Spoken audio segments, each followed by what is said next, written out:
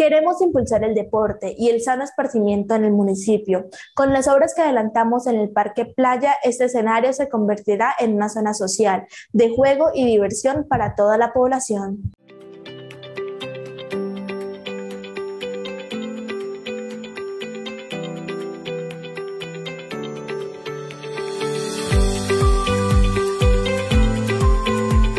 El Parque Playa es una gran apuesta de la Administración por la conservación de los espacios verdes de nuestra ciudad. En este proyecto se invierten más de 3 mil millones de pesos y se invierten más o menos en una área aproximada de 11.700 metros cuadrados. Además, este nuevo espacio de sano esparcimiento se protegerá cerca de 4.000 metros cuadrados de reserva natural. Seguimos transformando la calidad de vida de las comunidades de San José de Cúcuta.